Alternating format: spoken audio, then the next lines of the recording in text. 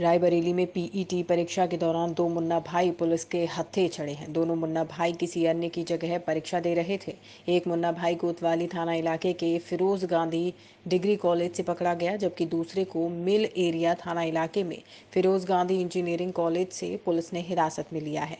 CO सदर अमित सिंह के मुताबिक फिरोज गांधी डिग्री कॉलेज में पकड़ा गया मुन्ना भाई जौनपुर का रहने वाला जितेंद्र यादव है, जो अभिषेक यादव की जगह परीक्षा दे रहा था।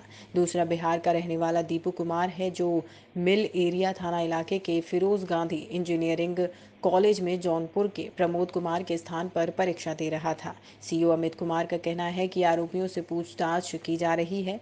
तथ्य संकलन के बाद कानूनी कार्यवाही की जाएगी।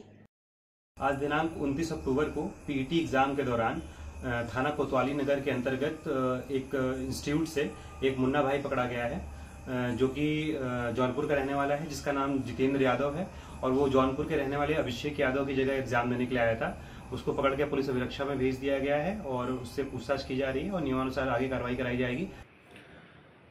पेट की परीक्षा में आज सुबह की पाली में। फिरोज गांधी डिग्री कॉलेज में एक लड़का जो किसी अन्य के स्थान पे परीक्षा दे रहा था तो संदिग्धता के आधार पर उससे पूछताछ की गई और उसके बाद में पूछताछ के बाद ये पुष्टि हुई कि वो किसी अन्य के स्थान पे एग्ज़ाम दे रहा है।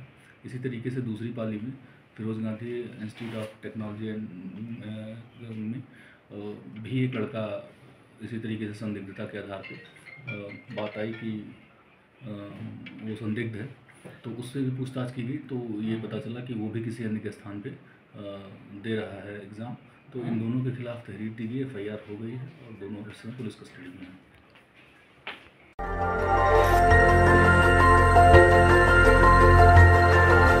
देखते रहिए डीबी भारती समाचार नज़र हर खबर पर।